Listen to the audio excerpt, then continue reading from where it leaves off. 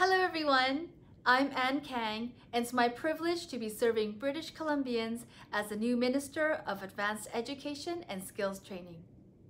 I'm sending you greetings from the unceded territory of the Musqueam, Squamish, and Tsleil-Waututh nations.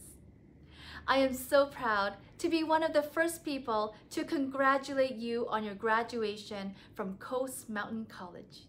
It is an incredible milestone in an equally incredible and challenging year. As a former elementary school teacher, lifelong learner, and a woman of color, empowering people through education is a value close to my heart. You are passionate leaders here in BC's beautiful Northwest region.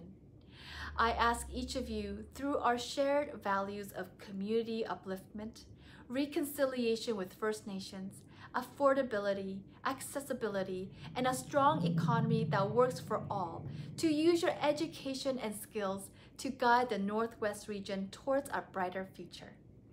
Whether you are in Terrace, Prince Rupert, Smithers, Hazelton, on Haida Gwaii, or in one of the many communities connected through the Contact North program. You are resilient people who have overcome so many challenges this past year, and I know you will connect meaningfully with people in the communities you serve. We need your skills more than ever, and I know you will contribute to an interconnected world to write the future of our province.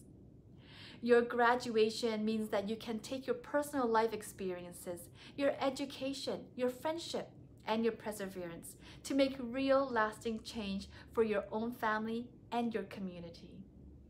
COVID-19 has been devastating in several ways, and I know this is not the kind of graduation you had envisioned, but there is a light at the end of the tunnel, and we will get through it together. You've strived hard for this day, burned the midnight oil, and overcame adversities posed by COVID-19. Nothing can take this achievement away from you, and I am so proud of each one of you. We are all cheering you on as you take this next step to support our province in whatever field you have graduated in. We need you to know that we need you more than ever. Thank you for setting an example and supporting those in our communities who may be deeply affected by this pandemic. Take the skills and knowledge you've acquired at Coast Mountain College back to your communities and make a difference.